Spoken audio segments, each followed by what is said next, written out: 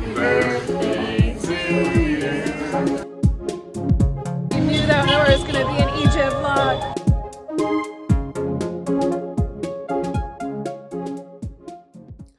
Yuri is very busy burying bone. When I give her bones, she doesn't eat them. She just takes them outside and buries them. So gentle. I think it's cute when she does this. She's like so tender with her like hiding food and it provides an activity for her. But I have to be ready with the wet wipes because her mouth, her nose, her paws are so muddy. Or maybe I'll just take her for a walk right now.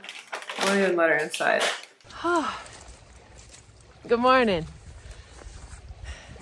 With Yuri. Might hear some Canadian geese in the background. I'm 30!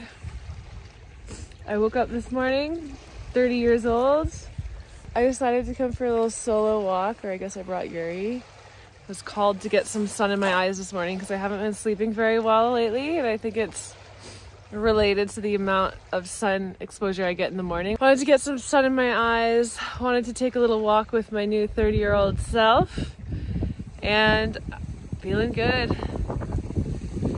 Ah, I've got a little bit of tension in my chest. I don't think it's related to being 30. I think it's just the fact that I'm having to pack up and leave again. And I've done a lot of packing up and leaving lately.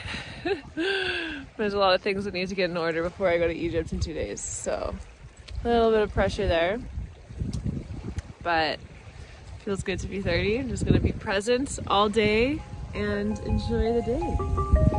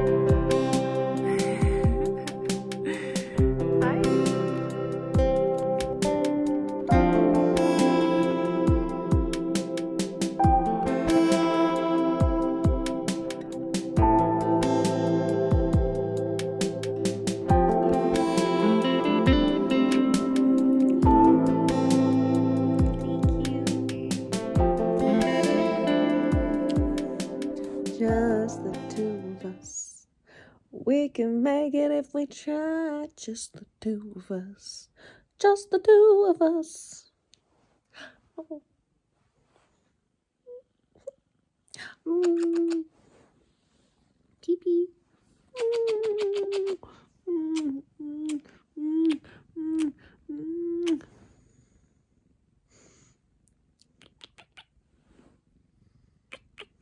Have a kiss.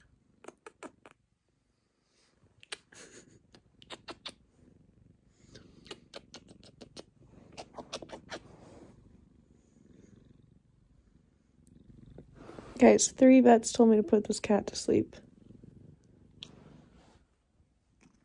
Three. Look at him. Best friends. Best friends. Oh my god. He actually just cleared that, grabbed this, and broke it. I'm proud of us, guys. House is clean. Well, not clean, empty. Now it gets cleaned.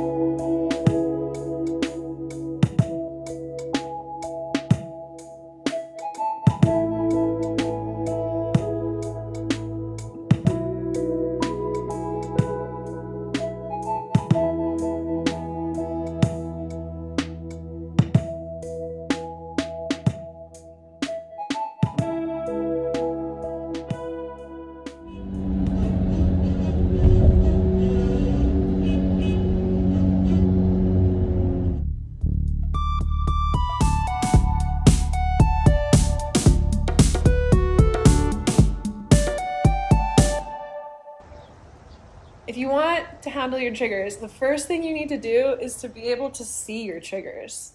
And how you see your triggers is by creating enough space between your awareness perceiving and then your mind operating. Like it's almost on a loop. It's kind of like when I rewatch my vlogs back again and I say the same things right before myself in the video says them.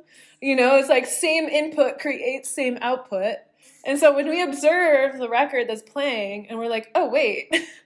I see this now. So that's the first step is just seeing and understanding your triggers and feeling it in your body too is another good way is like if you're connected to how you're feeling, the way that it flows in and flows out, like you'll notice when you're holding tension and you're getting antsy, like you can feel a trigger. And this is going to be such a simple way, but the way that I handle them now is by breathing. The most important part is observing them and noticing them. And so it's like you're like, "Whoa, I'm getting triggered." And then I just come back to the moment and I do a little bit of like a zoom out and I observe my body and myself in the situation and I can kind of see what the inputs are, what my desired triggered output is.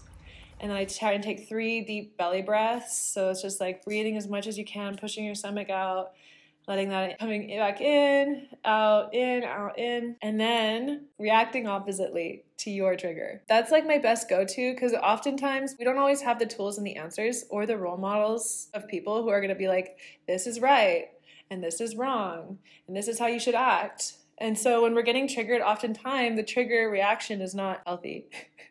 I think we can all relate to that. And we're pretty good as humans at finding the opposite. So, like, what's at least the opposite of that reaction?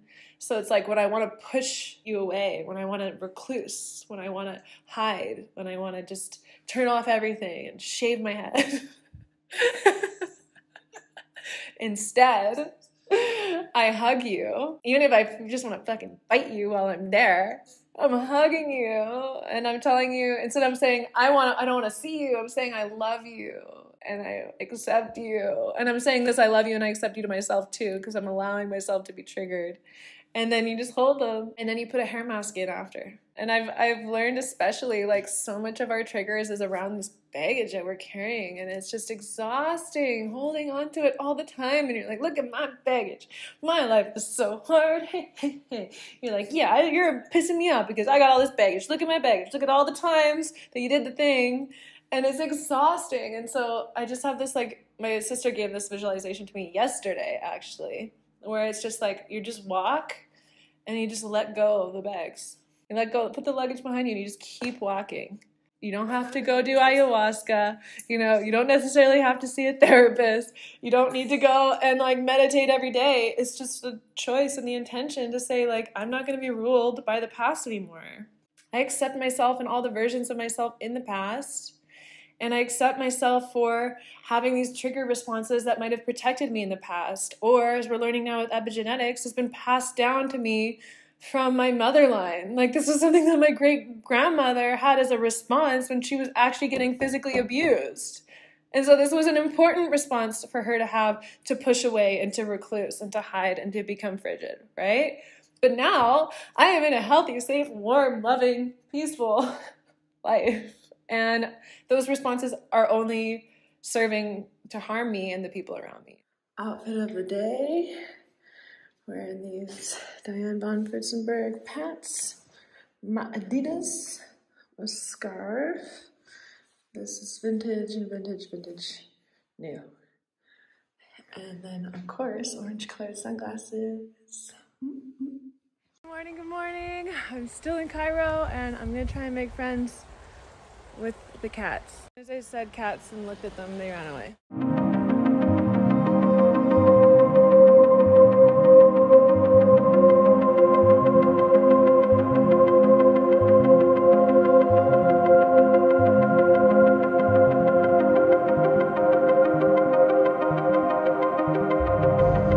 Got some Dara's ice cream. This was recommended to me by someone, I think in the airport. I'm trying to remember who recommended to me. And that's where I got dropped off today. Gonna go see Sherry and Sabrina. I forgot to get off at my floor. Damn it. I didn't get off on my floor and it just went right back down. I'm getting the hang of this place. Okay, and then I can just push the door. Oh, wow, here we go.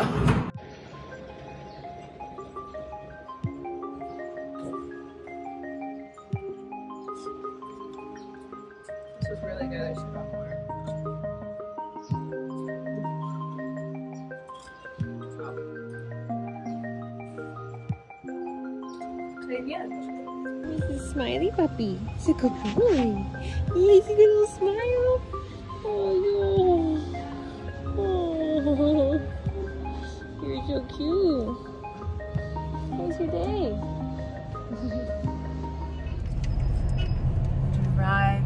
Downtown in Cairo.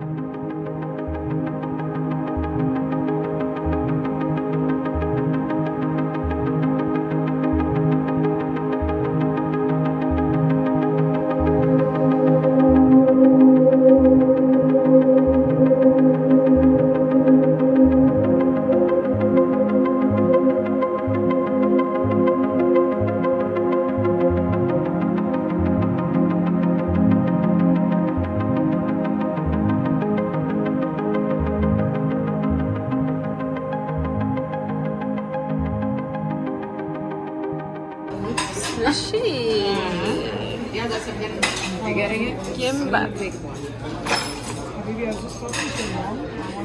you guys want to be on my vlog? Sabrina and Sherry and Jazz. I get to follow Sabrina around on her day today. We are at one of the oldest, if not the oldest, cinemas in uh, Egypt, in Cairo, and they've set it up to do a display um, Hal, I don't know if I'm saying that right. They have made carpets for the last 150 years, and the son is inheriting the company. And so he got a bunch of artists from the Middle East to design carpets and using the same handmade, hand-dyed processes that they've used for 150 years on more traditional styles. They've taken it now and made these beautiful pieces of work. It's incredible. I'm so glad that I got to come and visit and see how they're setting up and how they're building and talk to people about their process.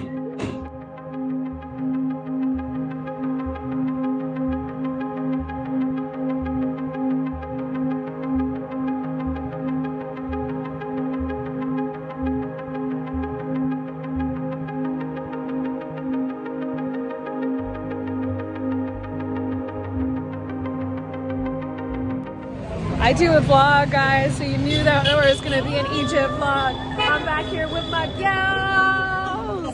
we just went to the carpet show. How do I we're gonna eat it? shawarma. Now we're eating shawarma. I got to wear the hat. Insert insert photo of me wearing the hat. that was cool.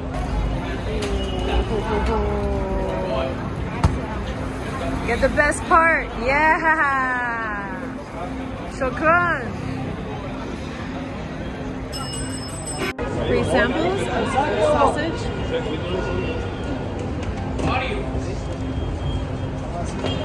You're